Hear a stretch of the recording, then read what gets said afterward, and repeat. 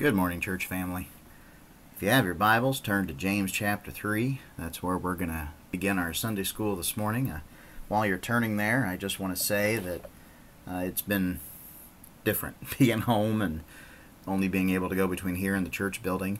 But Alex and I have been trying to make the most of it, trying to stay in contact with all of you through phone calls, text messages, and emails.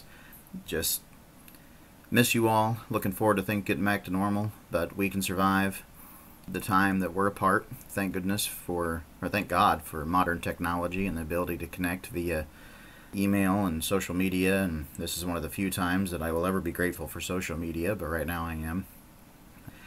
And also YouTube and live streaming and audio recording and all these other things that we can do. So it's great. There's so many things to be grateful for, so many things to be thankful for.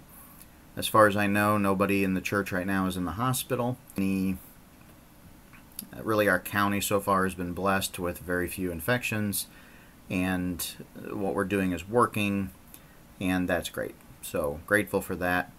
Let's dive into God's Word and see what He has to share with us this morning. Well, in James chapter 3, starting at verse 1, we're just going to read verse 1 because it's a heavy verse. Let not many of you become teachers, my brethren, knowing that as such we will incur a stricter judgment. This is one of those verses that every preacher thinks about all the time. Any Sunday school teacher thinks about all the time. And not just adult Sunday school teachers, but children Sunday school teachers too. In fact, there's verses like this in the Bible that you understand why they're there because teachers need to take what they're doing very seriously and need to be prepared and need to know what they're saying is truthful to the best of their knowledge. At the same time, you could understand why these verses might discourage some.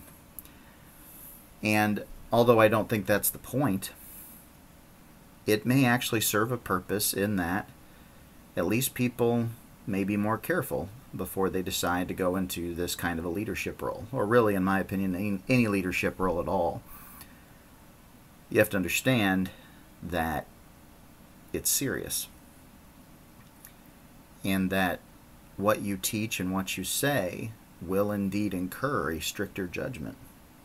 Some other translations say a double judgment.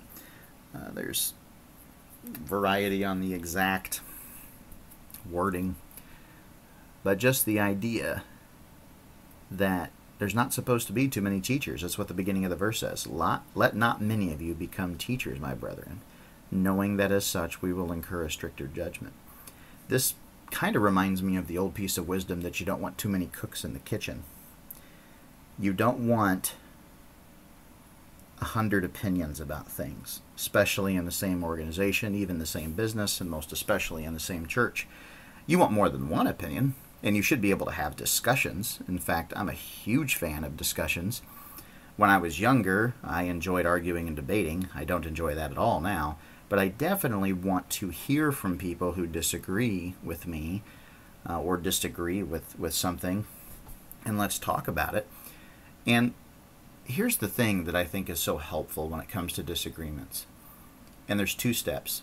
One, you have to be willing to discuss it and two, you have to be willing to give it time. I think both of those things are very important for resolving conflict. So many times when conflict comes, there's a demand for it to be solved immediately. Only the devil's in a hurry. I just can't repeat that enough. If it's a good idea today, it'll be a good idea tomorrow, or next week, or even next month patience is a biblical value that is not in conflict with trying to get something right. In fact, it is in harmony with it. If you want to get something right, you cannot rush to judgment. So many times, and I mean so many times with so many people, and I, and I I've been this way, where you're just absolutely convinced something is correct and you demand it to be in place now. Well, here's the deal just in the off chance you or I might happen to be wrong, then we violated two biblical principles instead of just one. So, again, it's so important that if we disagree, let's discuss it and let's give it time. It took me years to accept certain biblical truths. That's the truth. And I can recognize that now, and I tell other people that now because I'll have other people get so frustrated that they explain something from Scripture. It's as plain as day, absolutely, it's logical, it makes sense, etc. But if you don't give people time, it doesn't sink in. And if you don't give people time, they feel like they're being pushed, they feel like they're being forced or shamed or guilted, then all of that emotion is working against you. And you got to know people. Emotion goes a long way towards persuasion. In fact, I believe there's very few, if any, people at all that could be convinced of an argument purely on logic. Almost everybody requires some kind of emotional validation, some kind of persuasive characteristic. There's an old illustration I've used many times, but I think it's really worth repeating because it's so helpful. Let's say your friend is going to prepare for you your favorite meal, the meal that you like most of all, and he has prepared that meal. And let's just say, for the sake of argument, even if it's not your favorite meal, just follow the, the course of the illustration. Let's say it's a steak and mashed potatoes and green beans and uh, a drink let's say that favorite meal is being served to you. You go to their house, you're looking forward to it. You get there, and there's this vessel on the table, sort of this large glass, and it's filled with this strange substance. You don't know what it is. And your best friend comes in and says, There's your meal. And you're like, What are you talking about? And he's like, Well, I made it just like you like it, but I thought so. I just put it all in a blender. It's, it's, it's even the same temperature as we would normally make it. It's just all mixed together and blended together. You should like it almost the same, right? Well, the truth is, and all of us know this, it's not only less appealing, it's inedible. We don't want it at all. Well, that's what it's like when you serve truth with nothing but logic and no love and no patience. If you want to be an effective teacher or preacher, you have to not only preach and teach truth, you have to do so persuasively. And that doesn't mean emotional manipulation. That doesn't mean tricking anybody into anything. What it does mean is showing them love, showing them patience, and showing them respect. And you do those things with truth, and over time, you'll find it to be effective. All right, I think we've got through that verse. Let's continue. And the rest of the passage isn't just about teachers and preachers uh, for sure. It's really about everybody. So here we go. Verse 2 For we all stumble in many ways. If anyone does not stumble in what he says, he is a perfect man, able to bride the whole, bridle the whole body as well. Now, if we put the bits into the horses' mouths so that they will obey us, we direct their entire body as well. Look at the ships also though they are so great and driven by strong winds, are still directed by a very small rudder wherever the inclination of the pilot desires. So also the tongue is a small part of the body, and yet it boasts of great things. I'll admit, when I was studying this this week, I was not looking forward to teaching on this passage. There are some passages that just strike so deep that convict you so much that it hurts. And this is one of them. Because as somebody who likes to talk and visit, as somebody who speaks probably two to three times more than the average person does, I'm fully aware with age and time that sometimes I say very stupid or insensitive things, and sometimes harmful things. I can tell you with age too that the amount of malice I have is, is so much less than it used to be, and my intentions of hurting anybody are, are, is virtually zero. But it's amazing how you still sometimes say the wrong thing at the wrong time and the wrong way to the wrong person, and woo, wow, you got a problem. Well, yeah, the tongue. It's interesting how he starts out this passage in verse 2 when he says, If anyone does not stumble in what he says, he is a perfect man, able to bridle the whole body as well. Well, that's obviously a goal, but not something that we can attain in this life. So, what is the point of talking about this idea of never stumbling or being a perfect man or able to bridle the whole body all the time without error? I don't think it's there to shame us into thinking that, well, since I can't do this, might as well not bother. No, I think what he's saying is the closer you get to this, the more you master your tongue, the more you have control of everything in a good way. The more uh, or the less likely you are to wreck everything else. I was having a conversation with my eight year old uh, the other day uh, because he's got quite a mouth. oh, the apple does not fall far from the tree, does it? And I was explaining to him that you might be right, but if you're not nice, nobody's going to care. Like you're nobody's going to follow you. Nobody's going to want to be your friend if you're not nice. You might be right, but if you're not nice, it really doesn't matter. And that's because everything else, and I think this is the point that James is making here about the ships and the rudders and the whole body and the horses' mouths, is that the tongue is the rudder of our lives. As I told my eight year old, the pen is mightier than the sword. That's an old piece of wisdom that the Bible mirrors here. Uh, or you might say the wisdom mirrors the Bible. But our tongue determines so much. And as I've aged, and the more I've understood that, the more careful I am. In Genesis chapter 1, we're told that we're made in the image of God. And we also have a unique characteristic among all of God's creation that only we human beings have, and that is speech, you know, the way we understand speech. Other animals talk and garble and, and communicate to some degree, but only human beings have speech and such a complicated language and the ability to abstract ideas and reading and writing and what we've done with language in our species history, largely speaking, has defined the history. I mean, even to this day, to pass a law, you've got to put it in language and write it down, and there has to be a signature on it by the leader of that country or province to put it into effect. We, through our everyday lives, recognize the value and the meaning of words. And so, when we discuss the tongue, and we've got some more to read here from James, and it's not going to be easy to read, but when we discuss the tongue, we're talking about the rudder that steers the whole ship. And I recognize as a preacher and a teacher that so much of what I say stir, steers the whole church. I actually have no ability to force anything but I know that just my influence through my tongue alone is strong, and I am accountable for that unto God. And it is no small thing. Let's keep reading. End of verse 5.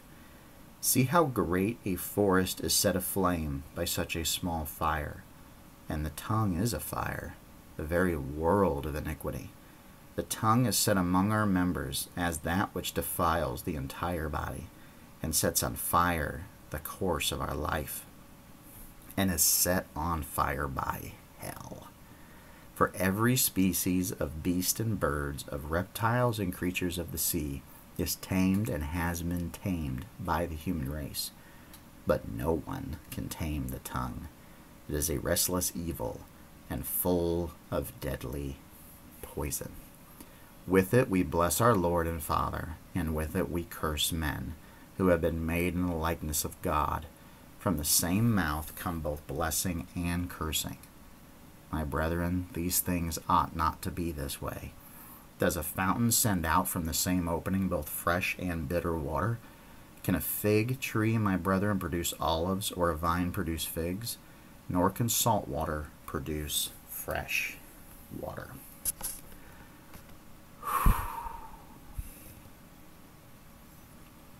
we thought the first part of the passage was convicting. The second part of the passage is the part that I meant when I say it hurts. Another aspect of being human is that with our tongues, we don't just communicate, mag- make abstract thought, and get things done. We can also accomplish great good and we can also accomplish great evil. And nobody is immune from this. There is not a single innocent person on the planet with their tongue. Oftentimes, in preaching and teaching, the conversation turns to gossip, and most certainly we need to talk about gossip and, and discuss how terrible it is. But I've been thinking a lot about gossip. Where does gossip originate? Before it gets out of our mouths and goes into somebody else's ear, it comes from our mind and our heart. There's a conscious decision to say something destructive about another human being, or maybe even a fellow church member. Now, I have to say, I am extraordinarily blessed to be in a church where I hear very little of this, and it's really not much of a problem at all, and that is not to be taken for granted. Very grateful for that. No such thing as perfect with this, but uh, overall, pretty great. When it comes to not just our local church, though, I think about our lives and I think about our families and our friends, and I think about people that we don't like. Everybody's got somebody they don't like. Some people have a lot more than others, but everybody's got somebody. And let me tell you something I've been talking to my teenagers about. And I think it's very important. This is something I've learned with age and time. And that is no matter who it is, no matter what they've done to you, you never want to continue thinking ill of them. You have to forgive them in your heart and you have to let it go. If you let, and the old term is a grudge, and maybe that's a useful term for somebody who's listening to this, but I want to define that.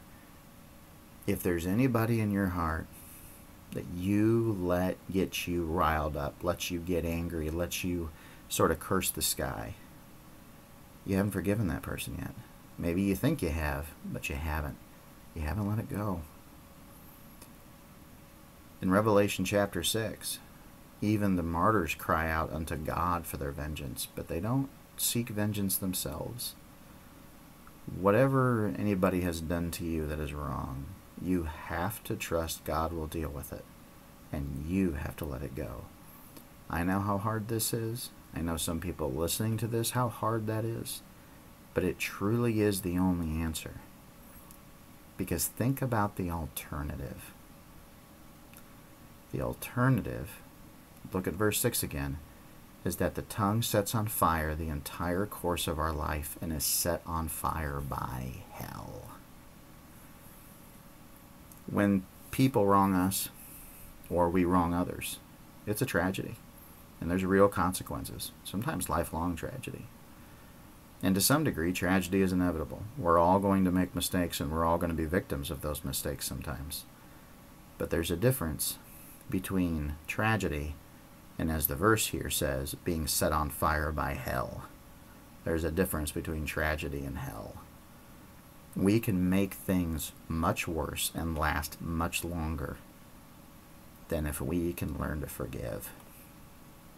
And you can get into a discussion and an argument, and I've heard, you know, every version of this. Well, you can forgive, but you never forget. Well, I've never found forgetting to be a voluntary action. I don't know about you, but my brain remembers whatever it wants to remember and it forgets whatever it wants to forget. I don't think I need to make a conscious effort to remember something terrible somebody did to me. I think what I can do is do my best to put it out of my mind, forgive that person, and move on with my life. My brain will do plenty of remembering without me dwelling on it. We got to let things go and it's probably one of the hardest lessons of growing into an adult and then being that adult over time.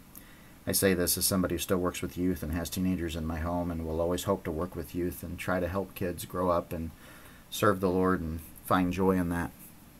And one of the ways that you can make sure you never have peace and joy in your heart is to continue hating people who've done you wrong. You have to let them go. All right. I think we've said enough about that. Well, the rest of the passage talks about how we can say good things about some people and, and bad things about other people, and this comes out of the same mouth, and how we're unique in nature in that we can do this. That from the fountain of our mouth, from the same opening, comes both fresh and bitter water. I was thinking about that passage in the Gospels where Jesus is arguing with the Pharisees, and the Pharisees are all concerned with what people are eating. And Jesus says, It's not the things that go into a man's mouth that makes him unclean, but the things that come out of his mouth, referring to his or her speech. Boy, there's a lot to be said about that, isn't there? Even in our modern times, people are so concerned about diet. And I'm not saying diet isn't important. I'm trying to diet. I'm trying to lose weight. it's a constant struggle for me. But I do have to remember what's the more important value. Even though dieting's important and what we eat matters, what's more important is what comes out of my mouth in terms of speech. What matters is what I say and who I say it and how I say it and what I'm saying. And I don't think near enough attention is spent on that than is the other. Like I said, this is a convicting lesson. It hurts at times. But at the same time, it's sort of a good hurt. It's a hurt that I know I need. Maybe it's a hurt that you need to be reminded how important it is what we say and why it matters. And if we choose to say something negative about somebody else, that that could carry a very, very high cost. Let me talk about one thing before we close here. Something else I've discussed with my teenagers at length is this idea that you not only don't want to hold grudges, you not only don't want to hate somebody in your heart, you've got to let them go, you've got to forgive them, and let your brain do the remembering, but otherwise you put it out of your mind. You also don't want to burn bridges. There's a story in my family's past, and I don't know all the details, and I'm going to be really vague about it. But about, oh, 70 years ago or so, there was a doctor who really wronged uh, one of my family members and caused uh, another family member to die as a result of his malpractice. And this family member had the choice and the right to sue this person. But he decided not to. There was nothing to be gained. The family member was gone. No amount of money was going to cure the hurt, and my family member had plenty of money. That wasn't going to solve anything. He did file a complaint. He did receive an apology, but he decided not to sue years later, and I'm talking probably 20 years later, same relative had a child go into the ER. And wouldn't you know that same doctor that had wronged him was the ER doctor that night and had to help his child. And he did. And the child was okay. And they both had an emotional reunion over it. And he said, You know, if you had sued me, I may not be here right now. I may not be able to help people right now. What I did was wrong. It was a poor judgment call. But thank you.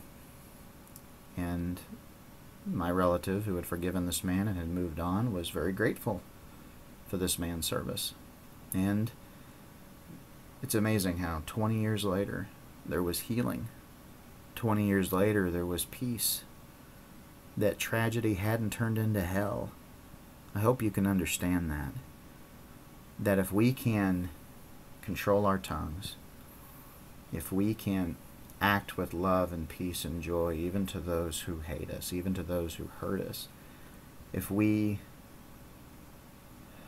can forgive, truly forgive, and let go those pains, who knows what God can do? Who knows what He can accomplish? anything is possible. Now it takes two to tango. It takes two people willing to set the past aside. And that's another thing I've I've come to realize too. If you do try to reconcile with somebody, sometimes you can't figure out the past sometimes you both just have to agree to put it behind you and start out fresh. Like that really is the only answer.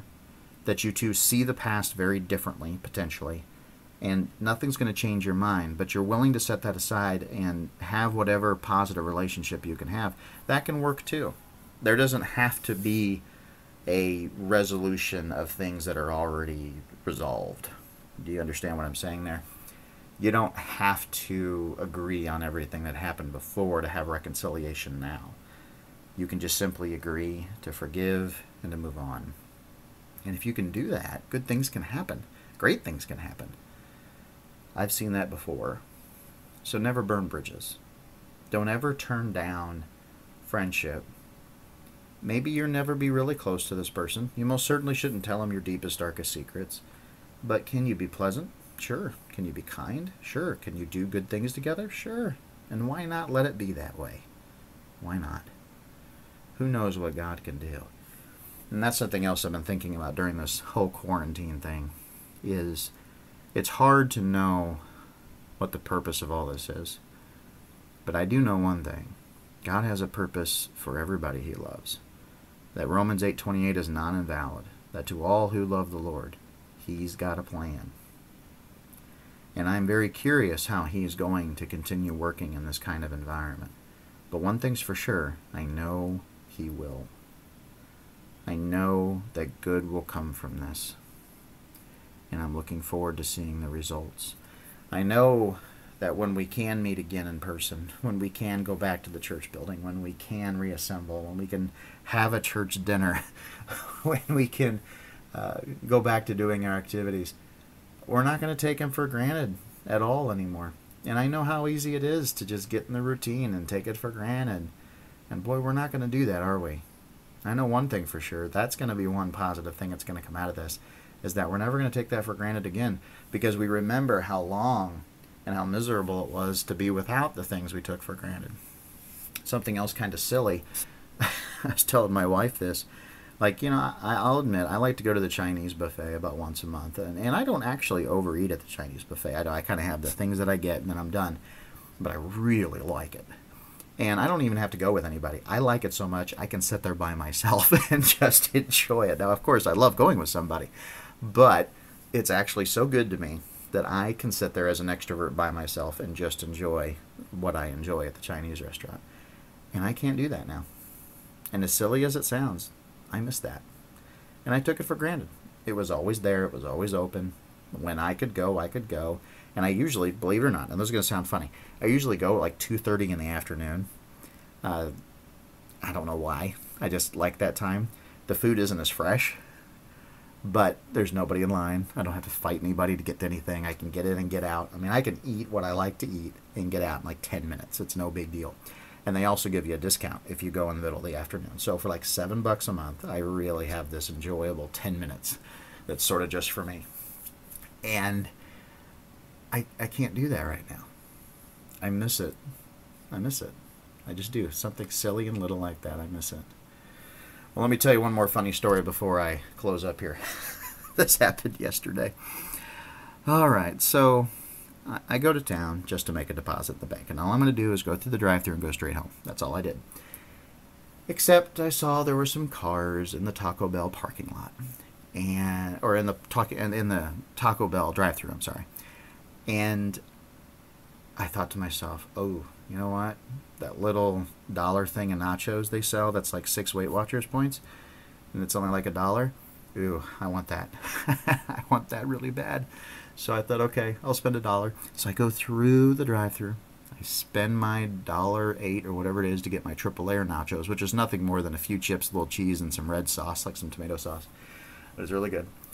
And I'm going down the road, and I don't want to wait until I get home to eat it. So while I'm driving down the road, I decide to get it out of the bag. And wouldn't you know, I spill it all over myself and my car. I can't even believe it happens when it happened. Like, it was just so surreal that I was holding this thing I was really looking forward to. And then a second later, it's just all over the place. And I'm covered in it. And I'm driving down the highway. So.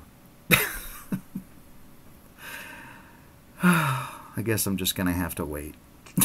To enjoy any kind of takeout until this thing is over. So I told my wife, I was like, well, obviously I learned my lesson. And, you know, if you're dumb enough to try to eat nachos while you drive, I guess you get what's coming to you. And, you know, I did. So, learned my lesson there. All right, there's your funny preacher story for the day. I think I have one just about every week, don't I? Just some silly thing that I do that God teaches me. So, there you have it. Don't eat nachos in the drive through. Uh, don't go anywhere you're not supposed to right now. Stay at home. Take care of yourself and each other. Try to make some funny memories. Uh, my boys and I tomorrow are going to try to cut up a tree in the yard, uh, chop a tree down with, with a chainsaw.